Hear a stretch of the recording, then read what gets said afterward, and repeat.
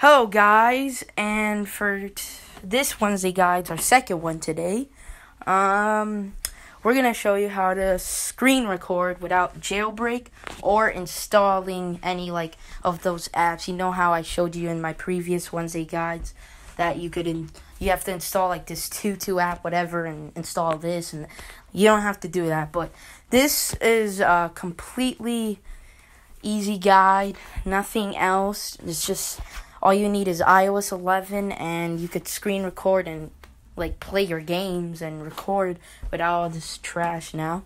So, what you need first. Oh yeah, and by the way, I'm going to do some shout outs. So shout out to Randy Tess and shout out to my boy MG Ammer for shouting me out. Shout out to him again. And um let's get right into the video. So first things first, you need to go to the settings and you need iOS 11. Sorry, I forgot. I keep on repeating myself, but that's the important thing. And all you need to do is go to settings, control center. You can now customize that thing. Um, one of the in my next um Wednesday guide, I'm going to show you all tips and tricks and everything. Well, not everything, but a lot of things like glitches in this update and whatever.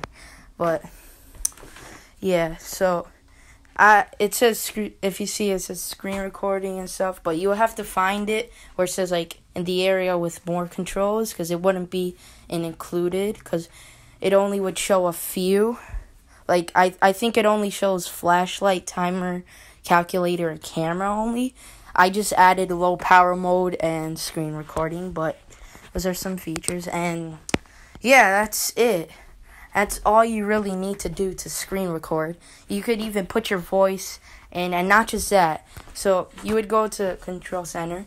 You could um also broadcast, I believe. Yeah, and but you just have to hold on the button when you go to here.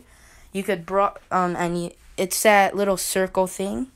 So you could broadcast, screen record, and put your voice in to do that.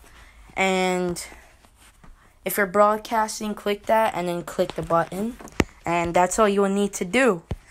You could play whatever game, show whatever, whatever, like whatever you want. So, yeah. That's how you screen record without installing or using jailbreak on iOS 11. Peace out.